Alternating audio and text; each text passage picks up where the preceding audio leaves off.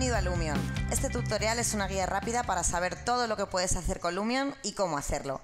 Para comenzar, primero inicia el programa. Se abrirá una barra de valoración que comprueba la velocidad de tu equipo y que también se muestra en la franja inferior de la imagen. Necesitarás una buena tarjeta gráfica para aprovechar y disfrutar Lumion al máximo. Este ordenador, por ejemplo, tiene una Nvidia GTX 970 y se puede ver cómo los resultados son bastante buenos en todos los procesos de valoración. Vamos a comenzar ya. La sección Noticias y Tutoriales en la pantalla de inicio ya te ofrece numerosos trucos y noticias relacionadas. Estas se actualizan constantemente, por lo que si pinchas, por ejemplo, en la pestaña Hardware, vas directamente a la página web, donde encontrarás muchos más consejos. La primera pestaña en la parte superior corresponde a la ventana de inicio, a su vez con otras seis ventanas propias. La segunda pestaña ofrece seis ejemplos principales de proyectos. En la tercera puedes cargar directamente la escena que previamente has creado con Lumion. Y en último lugar puedes cargar otras escenas desde tu propio equipo redes. Seleccionamos el idioma y comenzamos ya con una escena simple. En la parte inferior derecha de la pantalla encontramos una marca de interrogación que lleva al modo ayuda y también a la derecha podemos ver cinco iconos, modo construcción, foto, vídeo, modo panorámica y el botón para guardar el proyecto. Encontramos también un botón de ajustes que puedes modificar según las necesidades de tu equipo y que es muy fácil de manejar. En el modo construcción podemos ver cuatro opciones emergentes a la izquierda, meteorología, paisaje, materiales y objetos. Y así es como básicamente accedes a las funciones principales de Lumion. Debajo del botón de objetos hay diferentes categorías y este icono es el que te permite importar tus propios objetos. Al importar un nuevo modelo, intenta hacerlo siempre en formato FBX en DAE o en SKP de SketchUp, ya que funcionan muy bien con Lumion. Si te colocas de nuevo sobre el botón de ayuda, podrás saber cómo moverte alrededor de la escena usando el ratón y tu teclado. Con un teclado convencional, las teclas WASD te permitirán moverte hacia adelante, atrás, derecha o izquierda. Q y E mueven la cámara arriba o abajo y mantén pulsado el botón derecho del ratón para una visión circular de la escena. Estos iconos en el menú inferior te permiten mover, acercar o rotar objetos.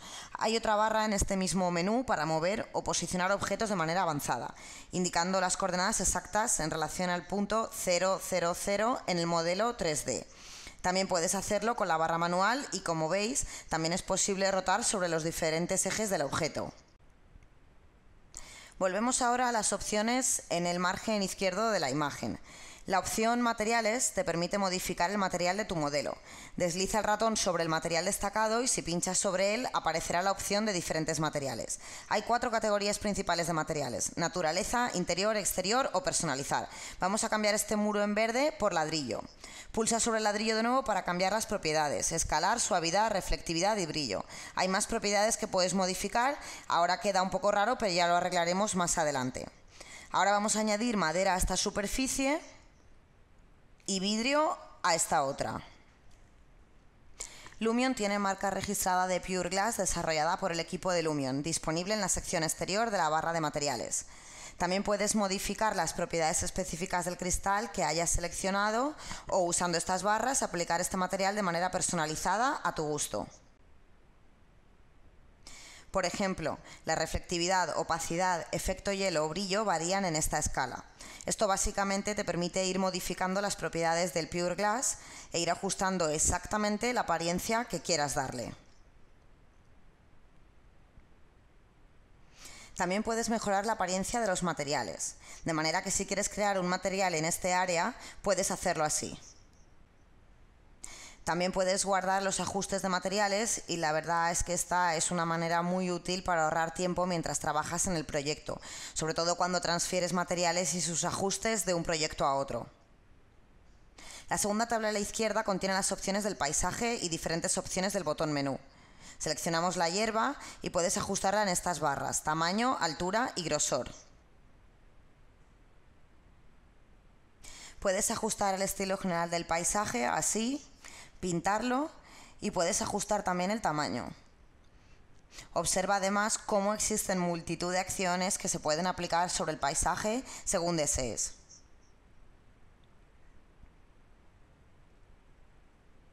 Además, puedes añadir con un solo clic hasta un océano si es lo que necesitas. Si no te va bien con tu modelo, lógicamente lo quitamos. Añade en su caso una línea de trabajo sobre un área concreta, así, algo muy útil para lagos o piscinas como en este ejemplo. Y puedes esculpir también el paisaje de los alrededores, de modo que vamos a usar la herramienta de esculpir también para acabar la piscina. El botón superior de la izquierda nos permite controlar los ajustes de la meteorología. Con él podemos cambiar la dirección del sol o la altura usando las barras de la izquierda. Igualmente podemos cambiar la cantidad de nubes que prefiramos. El botón más abajo del margen izquierdo abre la barra que contiene todos los objetos de la escena y con él podemos empezar a construir la escena con las diferentes categorías de objetos. Haz clic sobre un par de ellos e introdúcete dentro de la escena. Hay multitud de objetos entre los que elegir, simplemente muévete a través de las diferentes categorías para encontrar lo que estás buscando. Puedes guardarte los que más te gusten como favoritos pinchando en la estrella que aparece en el cuadro de cada objeto. Vamos a añadir una alfombra, pinchamos sobre ella para seleccionar el color, añadimos también una mesa y unas sillas a las que les damos color. Otra opción es usar la herramienta de movimiento en masa, muy útil si queremos repetir el mismo objeto varias veces dentro de una misma escena. Desliza los valores en estas barras para rotar, reducir o ampliar espacio entre ellos. Puedes añadir otros objetos dentro de esta opción de movimiento en masa. La segunda pestaña te permitirá seleccionar objetos en función de su categoría, algo muy útil cuando tienes muchos diferentes en una escena. Igualmente puedes ir añadiendo propiedades de manera individual a cada objeto, haciendo clic en el icono del lápiz. Un icono, el del lápiz, por cierto, que siempre va a significar editar el Lumion. Si mueves el ratón a la parte superior de la pantalla aparecerán varias capas. Activando estas capas puedes ver parte de la escena, en este caso exterior, que había sido construida previamente pero que habíamos mantenido oculta hasta ahora por estas capas. Puedes activar hasta 20 capas y resulta bastante práctico asignar diferentes tipos de objetos a cada una, por ejemplo personas en una, vehículos en otra. Volviendo a la escena, seleccionamos nuestro objeto principal para ofrecernos una versión íntegra del diseño. El reload es una de las mejores funciones de Lumion, ya que te permite actualizar tu escena de manera muy sencilla y rápida. Además, Lumion como software permite ver toda la interacción en sí, el movimiento a través de la escena de manera muy rápida y muy fácil. La nueva versión de Lumion, por cierto, trae también nuevas funciones y opciones relacionadas con el paisaje. Haz clic en este icono de la llave inglesa y entonces pinchas sobre el objeto concreto.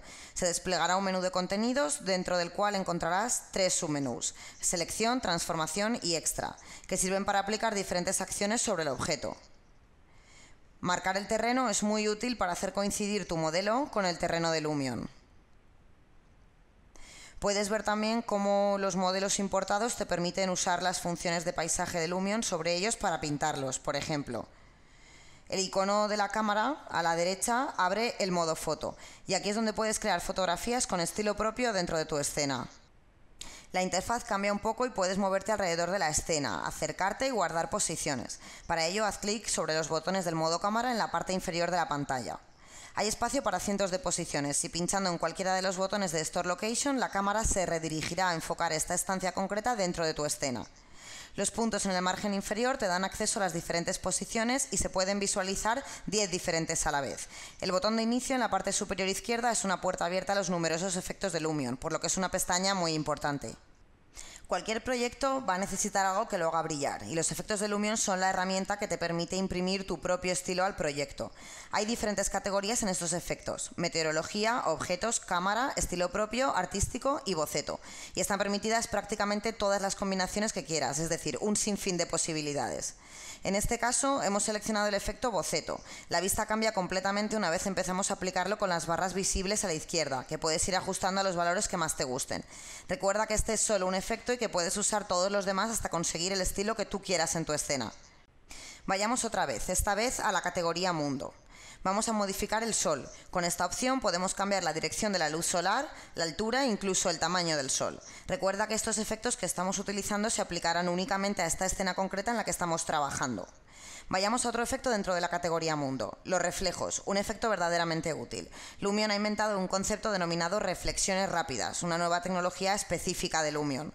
Aplicándolo se mejoran los reflejos sin impacto en la capacidad del equipo. La herramienta de edición con el icono del lápiz permite añadir reflejos sencillos, planos, que son diferentes a las llamadas reflexiones rápidas y puedes añadir a superficies específicas.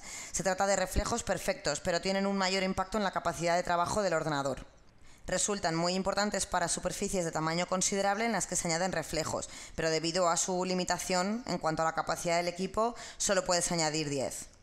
Seguimos avanzando, en este caso añadiendo diferentes efectos en el proyecto, y nos quedamos en este último en el que tocamos los valores correspondientes a la llamada Hyperlight, otra herramienta desarrollada específicamente por y para Lumion.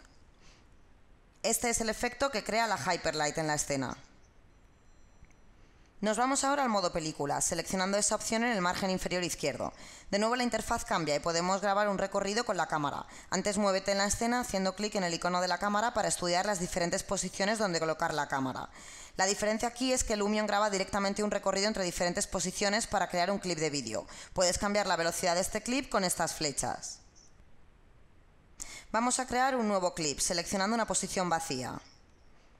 Ahora tenemos dos películas que puedes reproducir de manera individual o ambas juntas, en cuyo caso verás esta pequeña línea vertical que marca la separación entre una y otra.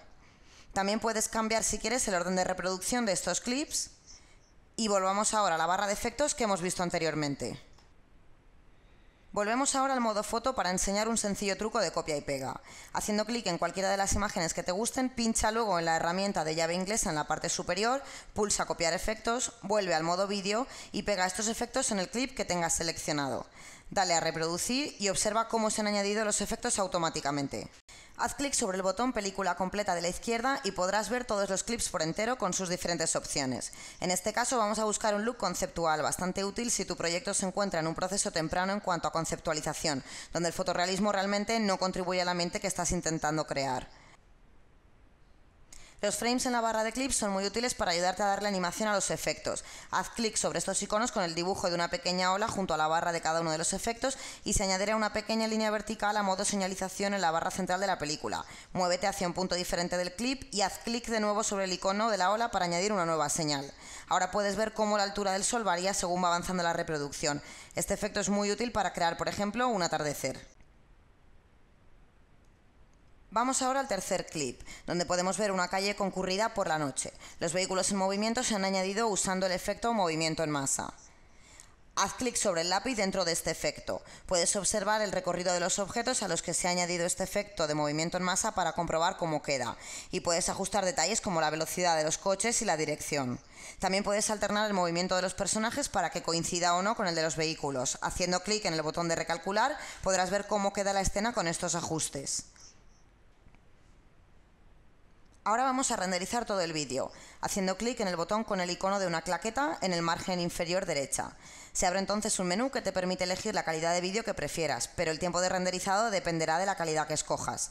5 estrellas, 30 frames por segundo y una resolución de 1080 Full HD son valores que ofrecen una calidad muy buena. Escoge entonces la ubicación de tu proyecto, que en este caso tardará unos 33 minutos en renderizar.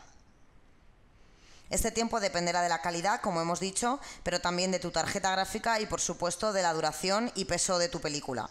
Esta sería una vista rápida del render.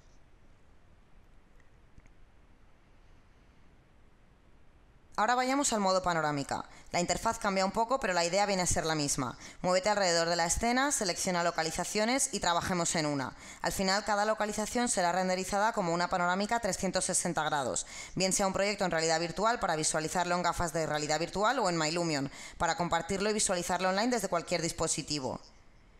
Ahora puedes situar la cámara a la altura del ojo. Tenemos seis localizaciones, pegamos los efectos que hemos copiado previamente y vamos a renderizar primero como si fuera un proyecto de realidad virtual y lo haremos de manera que sea apto para GR VR u Oculus.